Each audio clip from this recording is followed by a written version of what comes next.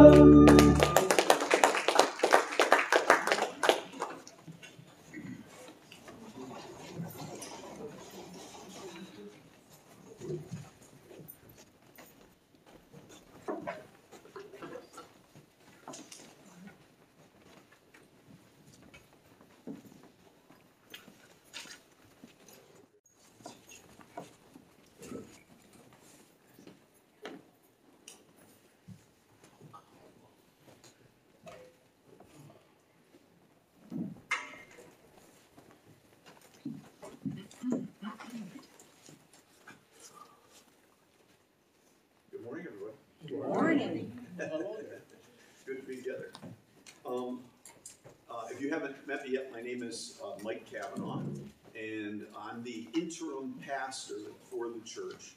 This church is in the uh, midst of a, a, big transition, really, big, big change. Matter of fact, today is a significant today, day because um, we're going to kind of extend the service. We'll give a, a little, like, a uh, few minute break so those of you that want to escape can at the end of the regular service.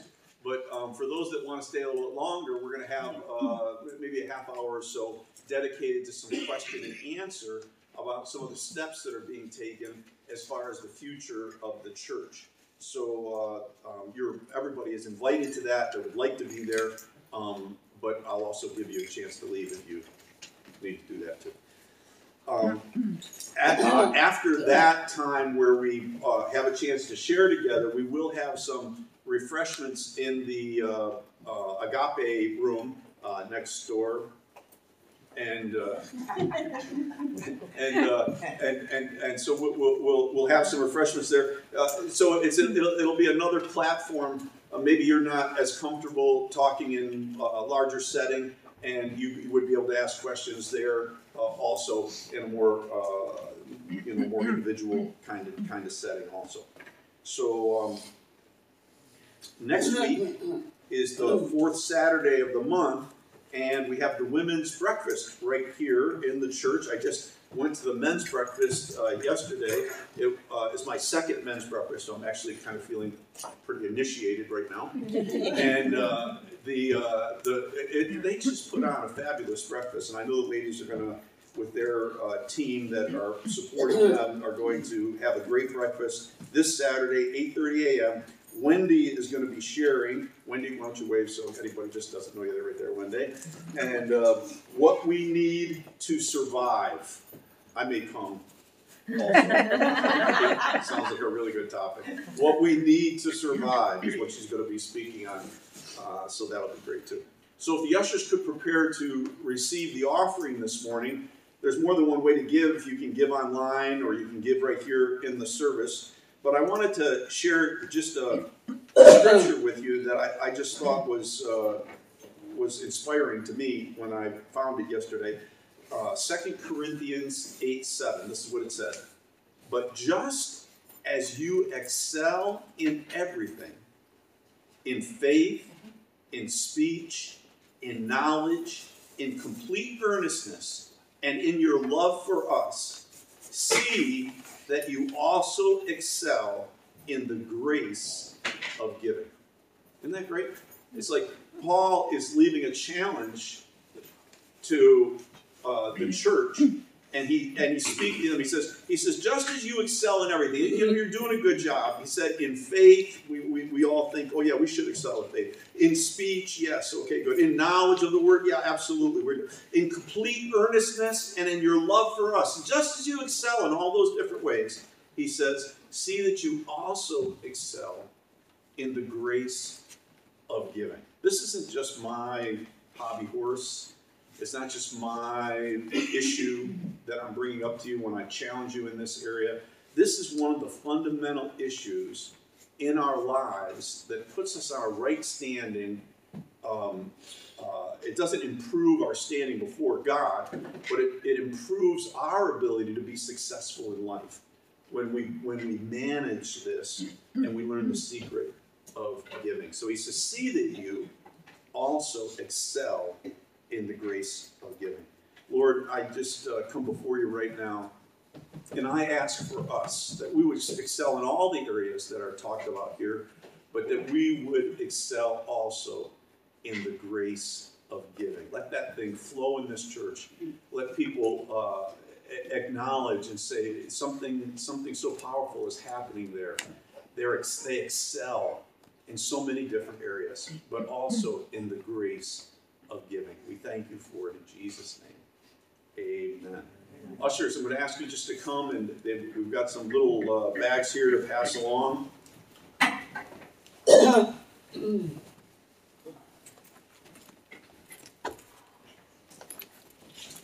So, um, I want to talk with you today. Um, what I'm going to be sharing today, in some ways, is going to be a little bit of review of some of what we've talked about all during this last uh, this last uh, month and a half, two months that I've uh, been with you. Um, a little bit of a re- uh, uh, of a review. I'm going to touch on some things that I've already talked on. Uh, reviewing is an important thing. The Bible, you'll, you'll see that over time, so you may even think to yourself, why do they keep repeating this? A teacher taught me long ago when I was learning how to teach others. They said repetition is the mother of learning, right?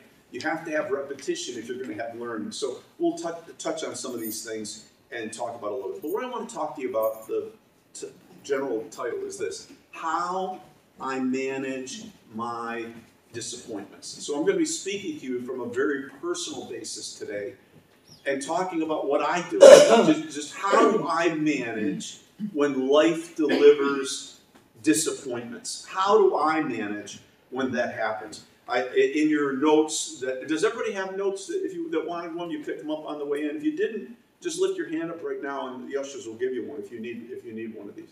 Okay, great.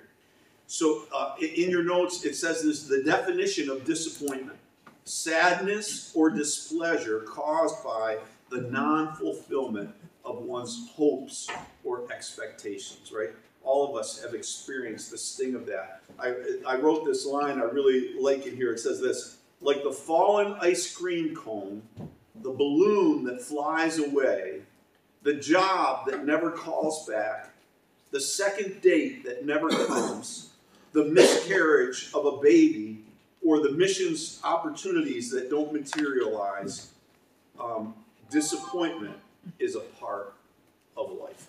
And that's just the reality. I can remember uh, my little son, my, my son, told me now, it's like, but anyway, my, my son told me when he was about eight years old, he'd gotten a balloon at some activity, a helium balloon, and I remember he was coming in the he was coming in the doorway, and the and the balloon, you know, took off, floated away, and just you know, you know, just a sense of loss that swept over him. And I, I know you've felt that sense of loss. We all have uh, in our lives uh, John 16 33, it says, These things I have spoken to you, so that in me you may have peace.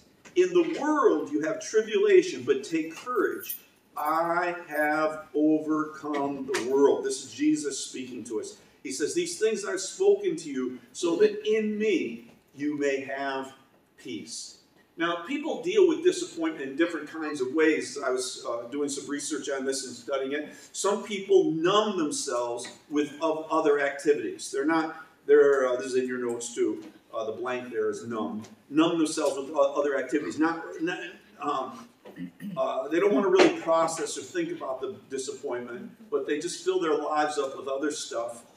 Uh, sometimes people like this can become obsessive uh, in their hobbies, whether it's music or motorcycling. Uh, they can be obsessive in raising their children. They can uh, they, they just numb themselves by totally giving themselves over to something else. This is something that will fill their life, so they don't have to think about the disappointment that they that they feel. Some people are underachievers and uh, that's the blank, they're underachievers. Some people seek to avoid disappointment by turning into underachievers. They unconsciously set the bar low and avoid taking any risk to present, prevent themselves or others from being disappointed. Without realizing that they have decided that the best strategy is not to have high expectations about anything. Such behavior turns into a form of self preservation However, it also leads to a mediocre and unfulfilled life. So we have people who numb themselves with activity. We have people who just say they, they were disappointed, so they just lower their expectations, they move it down. And then the third group that uh, was spoken about is perfectionism. Others follow a very different trajectory. They seek to avoid uh, disappointment by becoming overachievers. Although they tell themselves that their expectations of perfection are appropriate and realistic, their presumptions turn out not only to be uh, to not to be true at all. The bar is set far too high to ever make whatever they want to achieve attainable. They forget that perfectionism rarely begets perfection or satisfaction. Instead, it often leads to dis- disappointment. So let me ask you if I were to give you those three choices uh, numb yourselves when you face disappointment, underachiever, or perfectionistic, what would you say your way of dealing with disappointment is? It varies. What's that? It varies. It Sometimes varies. It's all three of them. All three of them, one time or another. That's good. Maybe you just write on your on your notes just what you think your way of dealing with disappointment is. Where do you tip on these?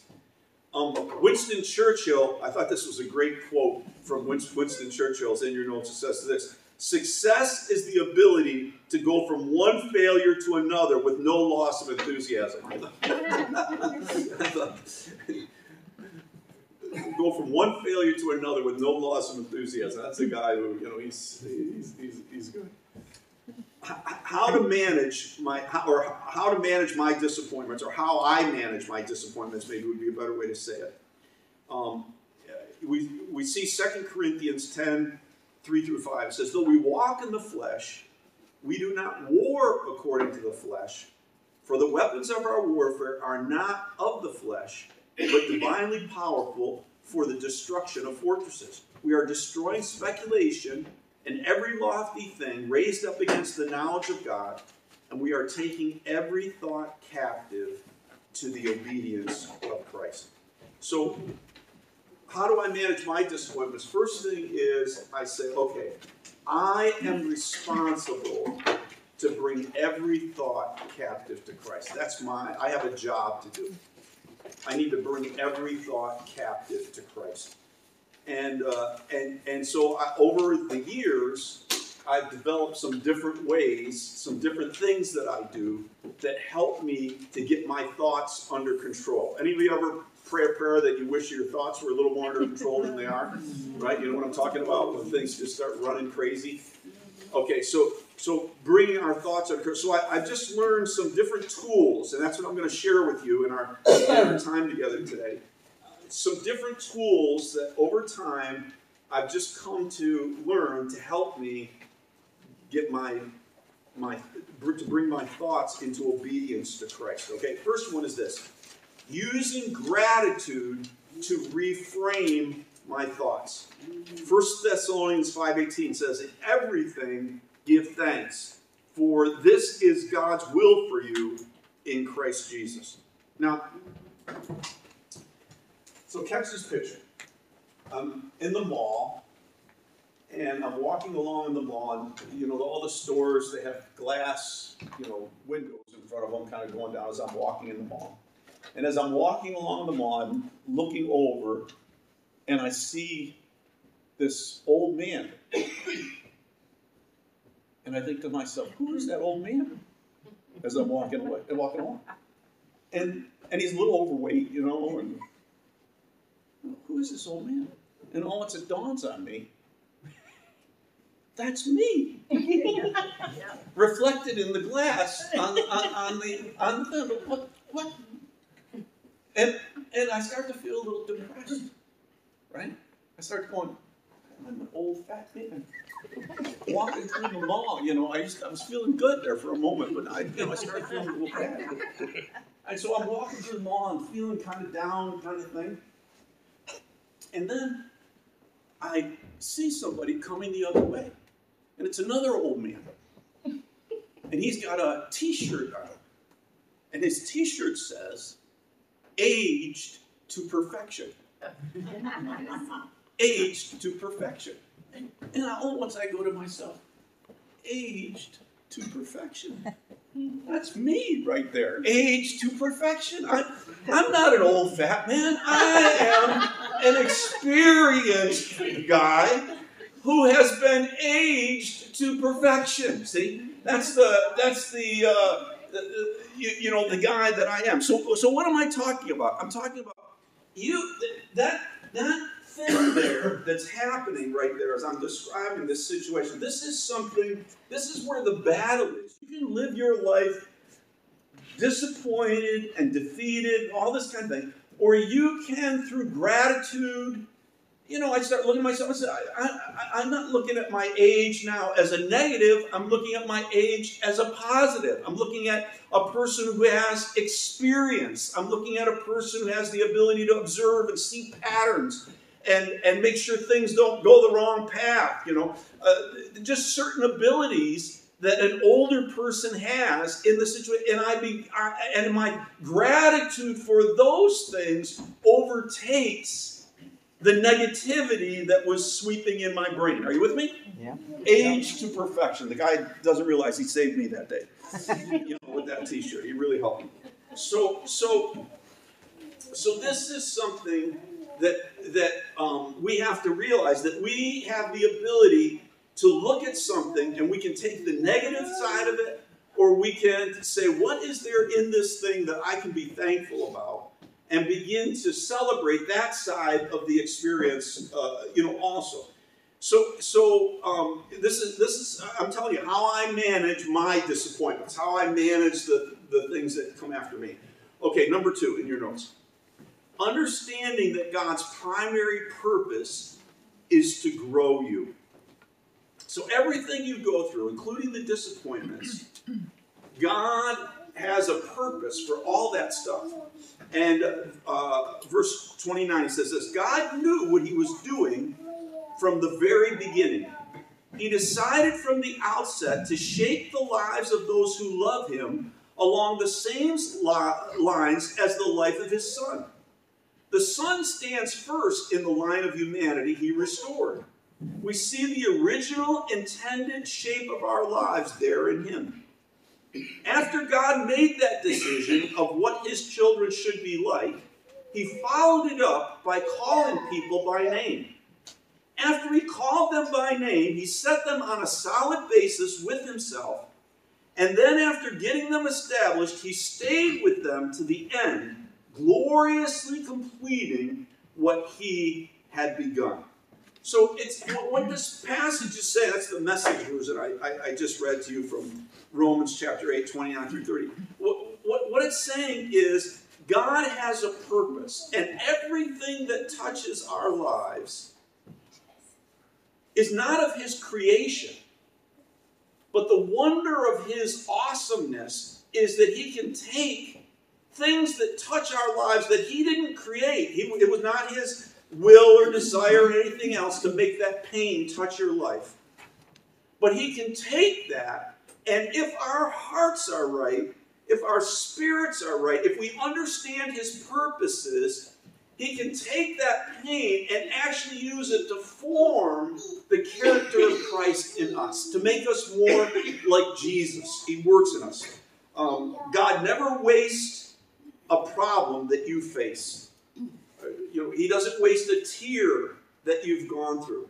He will use it to form the character of Christ in you.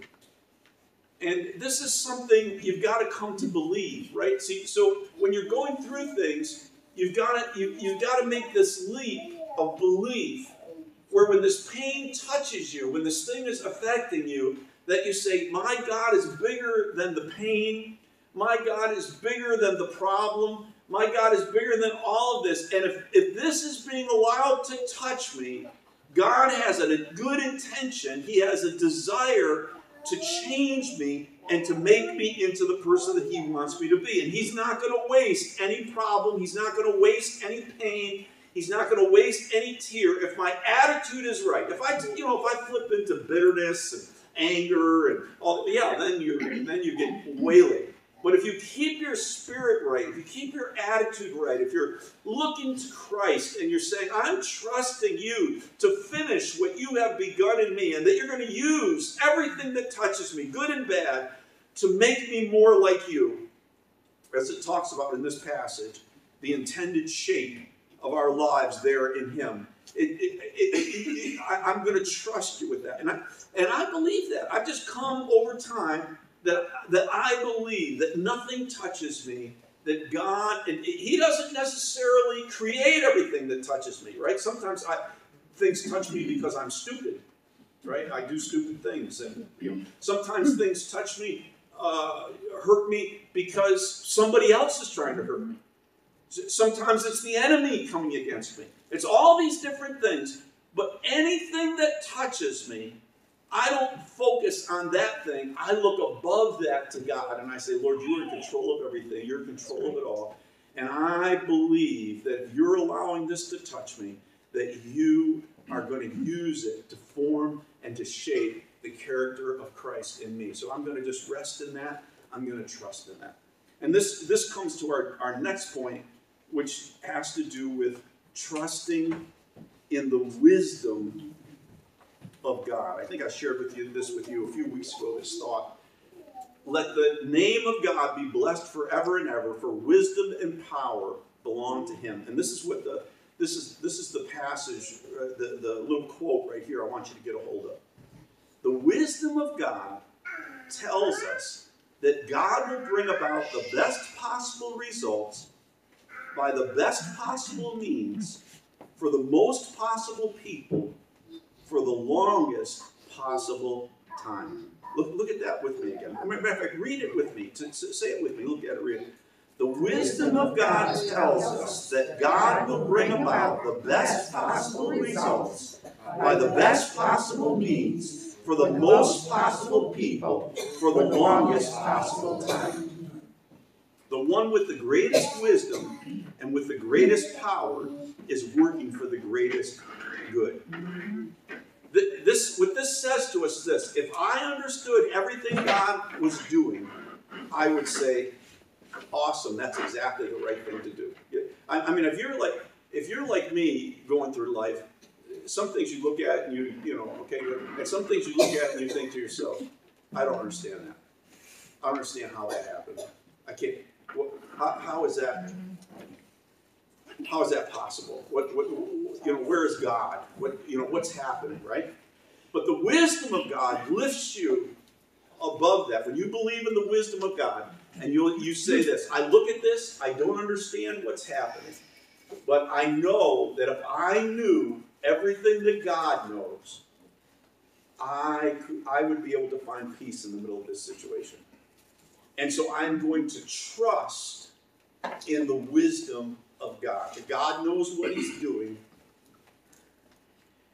and I, and and and he I, am trusting that he everything he's doing is trying to bring about the best possible results for the by the best possible means for the most possible people for the longest possible time and uh, and and so I, I just step back and I just say I'm trusting in your wisdom Lord I don't know why you're allowing this I don't know what's going on but my trust is in your wisdom you know sometimes you have uh, people that pass away, uh, and you're, you know, maybe they haven't, you know, given their lives to Christ, or at least you don't know what they've done or haven't done. You don't know what the last moments of their lives held, or what the situation, and you can you can be like all anxious. I'm telling you, there's nobody. You know, my mom's gone, but, but when when I get to heaven, I don't know whether my father, my mother, I don't know whether they're, you know, they they were kind of mixed up people. I don't know whether heaven, hell, I don't know what the, but I know this. When I stand before God and I know everything that He knows,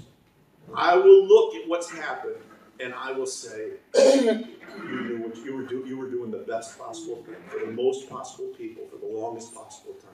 I trust in your wisdom. I rest in your wisdom. That is, these are the little these are the little cornerstones I'm sharing with you. These are the fundamental things that I've had to come to through hard knocks, through smashing my head against the wall, through experiencing pain, suffering, loss, through different things. These are the things I've had to come to, come to that enable me to deal with the disappointments that life uh, delivers to us. Now, one thing I've learned to do is um, is what I would call self talk. Do any of you talk to yourselves? I talk to myself like every day. As a matter of fact, before I go to bed at night, usually I talk to myself. I'm, I'm not talking about praying now, right? I'm talking me talking to me. I like get ready to lay my head down on the pillow, and my head is going, "What about church tomorrow? what's going to happen? Are you going to say the right thing? Is this going on? And I, I just lay my head down and I go, and I go, tomorrow is going to be a good day. The Lord is with me. He is my strength. He's going to bring me through. It's going to come together. It's going to come together. Don't, Mike, relax. And I talk to myself. Yeah. Right? And it's it's really good. I mean, you know, it's like I, like I convinced, you know, I talk to myself, and I actually convinced myself, you know, it's going to be okay. Just relax. You'll get up in the morning. There'll be enough time. Don't be concerned. It'll all all the pieces will be there. The car will start. All these things you're worried about, you know, it's going to all come together. He's with you, Mike. You're you're okay. Just relax. And then I lay my head down and I go, okay. I can go to sleep, right? I wrote down in your notes a list of different confessions that I make, some of the different self talk that I talk to myself with. So here, here's some of it. These are some diff- different things I say to myself.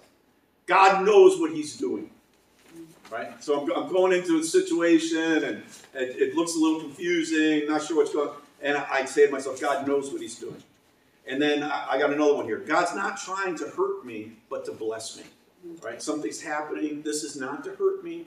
This is to bless me. God's trying to help me. Um, God will make me better through this. I tell myself that. God will make me better through this. This is a difficult situation, but God will make me better. Another one I, I use is I want to uh, be comfortable, but God wants me to grow. A lot of times I find that's the case, right? I want to be comfortable. I don't, I don't want these things to be happening, but God wants me to grow, so I'm going to trust in Him that He's, he's going to put it all together. This is not a mistake. God will use this to change me. This isn't like, you know, God's up in heaven going, whoops, you know, when this problem falls on my life, right? It's not like he's he's like, whoa, whoa, whoa, who let that happen? You know, it's it, you know, this is not a mistake. God will use this to change me. Uh, here's another one. God will not waste my pain. I'm going through some pain. God's not going to waste it. He's going to use it. What others have meant for evil, God has meant for good. I just I just take that inside my heart. I, you know, some, sometimes there are nasty people in the world. They're trying to hurt you. What others have meant for evil, God has meant for good. He's going to use this in my life. God never promised me a trouble-free life. He promised to make me like Jesus. Right? He never promised me a trouble-free life. He promised he would use it all to make me like Jesus. And then, and then this one. If I sow in tears, I will reap in joy. Okay, this may be a hard time, but if I stay faithful, if I sow in tears, I'm gonna I'm gonna reap uh, with joy. So, so this, this I'm t- I'm just sharing you. I mean, I hope you feel. I'm just lifting the veil. This is the inner workings of a guy who's been around the gospel for 50 years and and has gone through some things, 50 something years, and has gone through some things and this is how he copes, right? I'm, t- I'm showing you. This is how I deal with the disappointments and the challenges that are in life. Uh, number four, separate goals from the underlying desires God has put in your heart.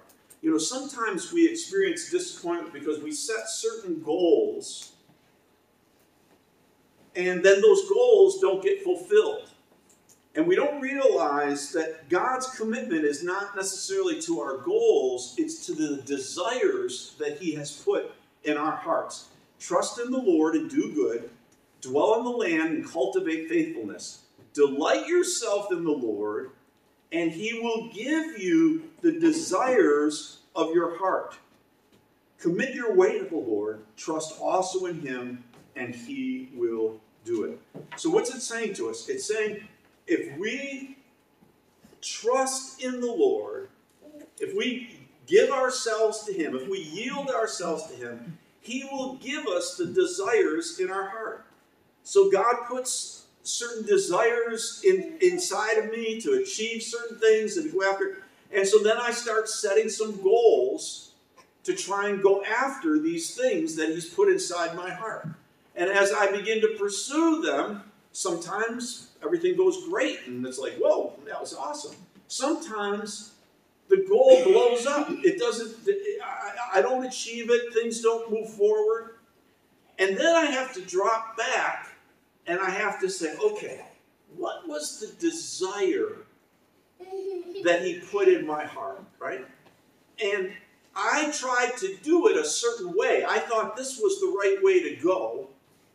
But the but but what I really need to do is to reconnect with the desire and make a new goal now in light of the desire, realizing that the way that I was going, God was not blessing. That's He's not in that you know that path. Uh, even though it was in line with my desire, it was that was not the way He wants to fulfill it. He wants to do this in another way. And so, um, in your notes it says, goals are tools that we use to move uh, toward our deepest desires. God changes, God, goals change, but the desires endure. Reconnect with your desires and rewrite your goals for the new situation you're in. I shared this um, a little while ago with a movement of uh, young people that had gotten involved. It was called Campus Target.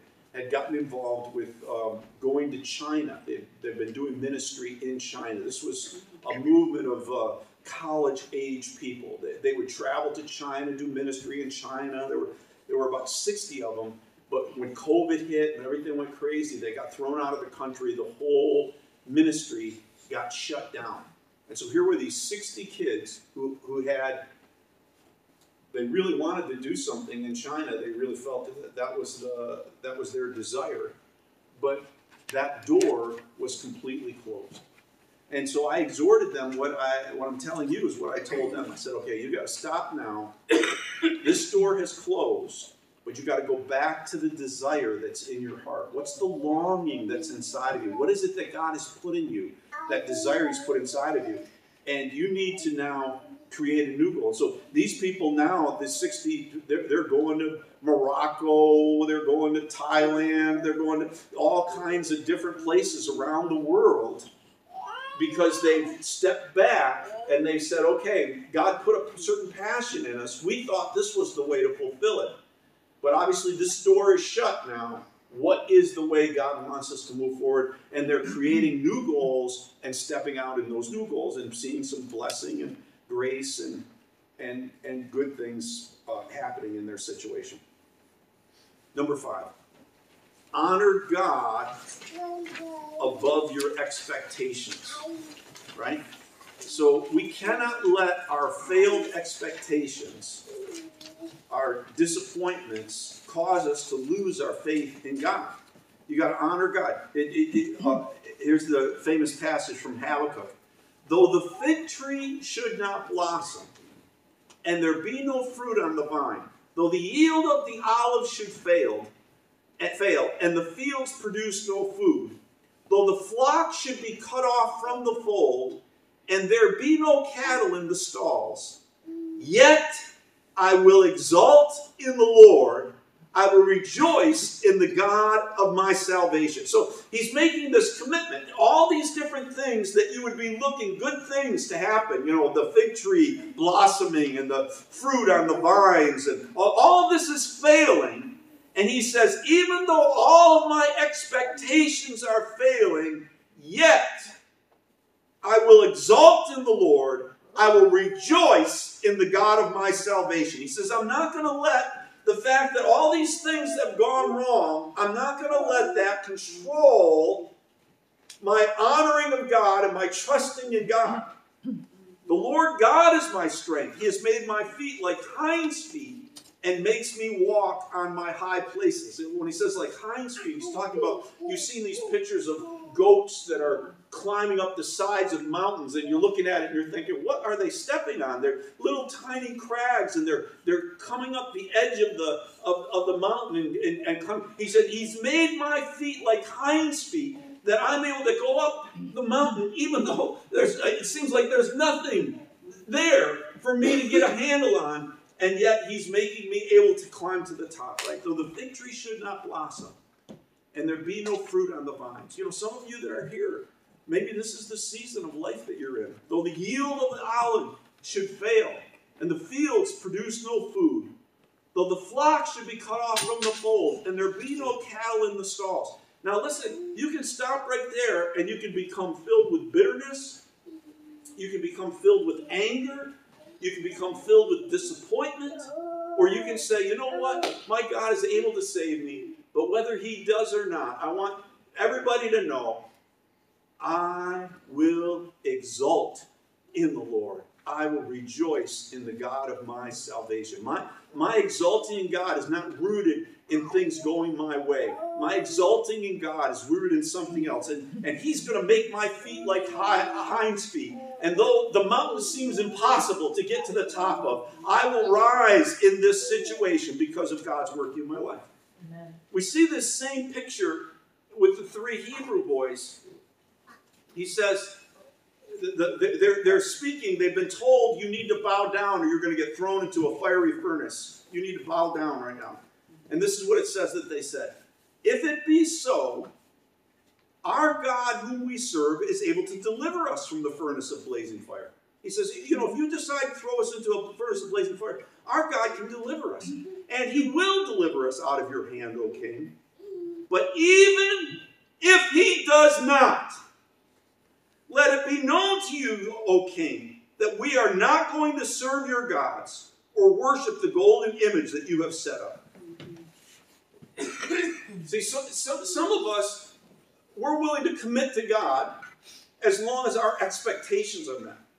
But if disappointment comes on us, then we say, "Well, God, really, you know, He's, you know, he, he, you can't really trust in Him. You can't really rest in Him. You can't really believe in Him."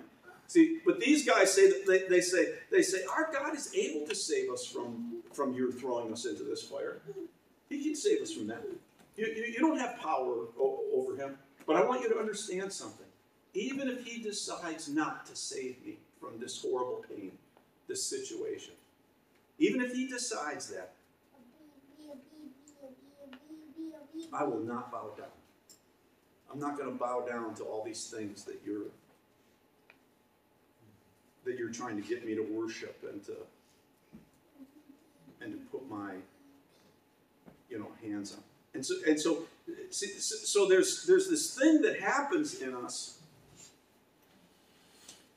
where where even when our expectations are not fulfilled, we've made there's this heart commitment. There's this heart decision that's been made that even when the disappointing things happen, we're going to trust in the wisdom of God, and we're going to we're going to we're going to look to Him in the midst of that situation, and and believe that He is going to finish the work that He's begun in us, and that maybe this pain is a part of it. You know, we're just going to trust. We're going to put our, our eyes on the Lord. This is how I I process my my disappointments. I last week I shared with you the sixth um, the sixth little lesson, and I, I'll say it again for those that weren't here last week. I called it the the peak to peak principle. And uh, and the peak to peak principle says this when is it time to make a change, right? Because sometimes people, if something bad happens, they think they need to quit. You know, if something bad happens, they say, you know, they're in the church, they don't like the way things are going. I'm out of here, right? I'm, I'm, I'm I, you know, I don't like the this decision or that decision. I don't like what's happening, you know. I, but, but there's a there's a secret that I've discovered, and that is this: when you're down in the valley in life, when you're down in the valley in life, that is not the time to make big decisions. And the reason is you can't you can't see. You can't see what's going on. When you're surrounded by failed expectations, when disappointment is clouding you up, when you're all you can't see. So you make some kind of big change down here, there's a there's a good chance you're gonna regret that change. Because you're moving out of duress, so to speak. The time to make changes is when you're at the peak. When things are going good, you're feeling positive about what's happening. You and you when you're when you're at the peak of a situation, you can see out in the distance, and you can you can uh, you can help yourself. So it's the peak to peak principle. And so this is again, when I'm struggling with disappointment, that's not times for me to make decisions, make big changes, make me do stuff. You know, I'm just going to hold steady, right? I'm in the valley right now. The valley is for changing me. The mountaintop is for changing the situation. The valley is for changing me. The mountaintop is for changing the situation.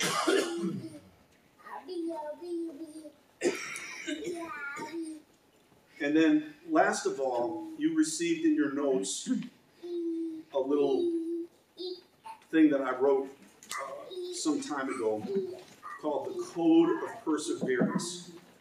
I think it's uh, is it green or yellow or yellow? It's a little yellow thing. Or- Both. I, I did both. Huh? It's green and or yellow. Oh, green and yellow. Okay, green and yellow. It says the code of perseverance on it. It's a half sheet of paper. Do you see it?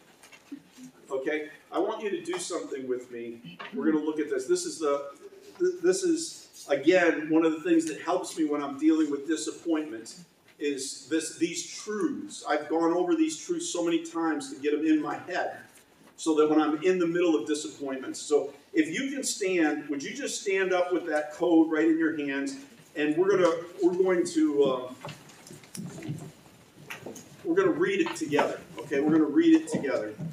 And so what what I want what I'm going to do is we're going to read together like see where it says number 1 I will never give up, you know that part. We're going to read that part together and then I'll read the scripture to you. And then we'll go to number 2, we'll read that together and I'll read the scripture to you when we're over. Okay, are you with me?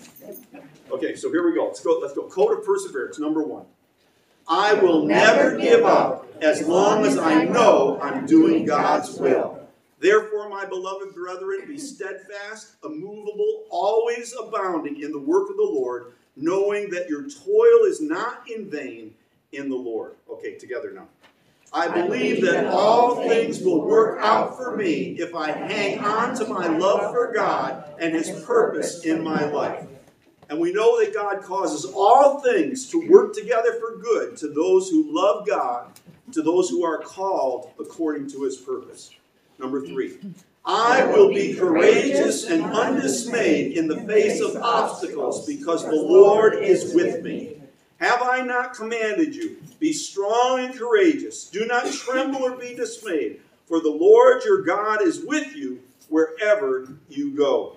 Number four, I will not permit anyone to intimidate me or deter me from my God given goals. Philippians 1:28 In no way alarmed by your opponents which is a sign of destruction for them but the salva- but of salvation for you and that too from God.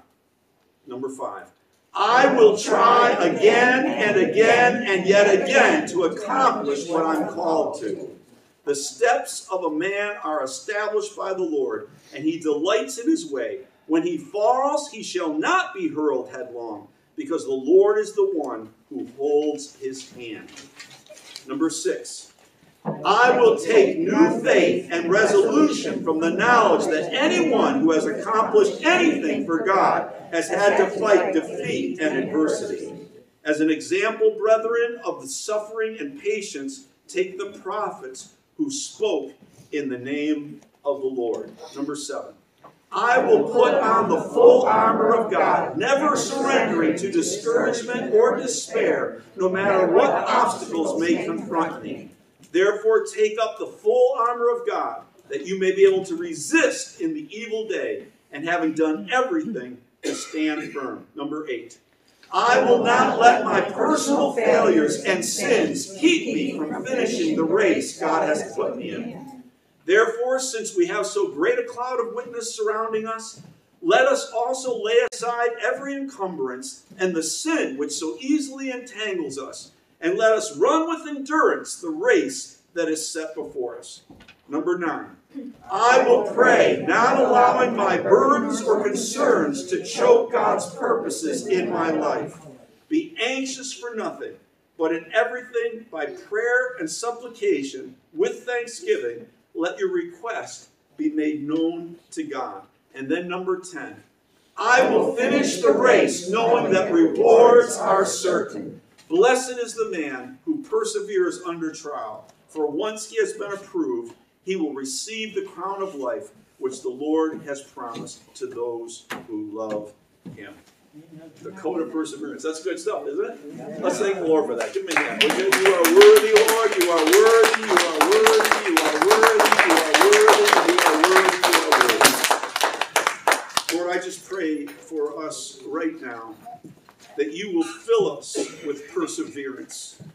That you will fill us with the ability to face difficult challenges and difficult situations that you'll give us that capacity to rise above, to be filled with um, the, the, the sense of your wisdom and trusting you, trusting in the wisdom of God. Let that just mark this place, Lord, forever. I thank you for it, Lord, a place where people are trusting. Not that everything will go good, but trusting that God is in control and His hand is over each of these situations. We thank you for it, Lord. In your name we pray. Amen. Amen. Amen. Okay, so um, you, yeah, you can sit down. Praise the Lord. And I'm gonna take, uh, just, why don't we just take a minute now? And if you would like to take off, we're gonna take a, like a three, four minute break. If you need to take off, feel free to go. Otherwise, gab with people nearby you. And, uh, and then we'll come back together for, uh, for talking time.